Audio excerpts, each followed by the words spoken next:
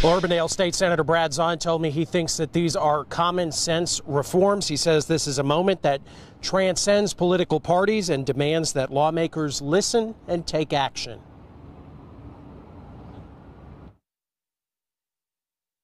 I'm very hopeful that we could pack some, you know, pass some meaningful legislation uh, to try to come up with solutions. There's no doubt that there's abuses that are going on. It's a very small minority. There's always some bad people in every crowd.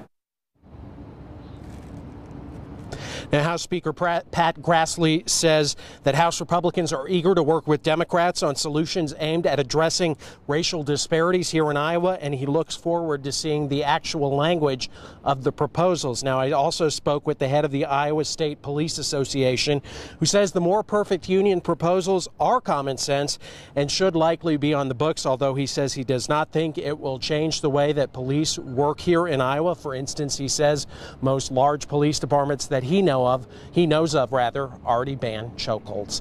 Live in Des Moines tonight, Chris Gothner, KCCI 8 News, Iowa's news leader.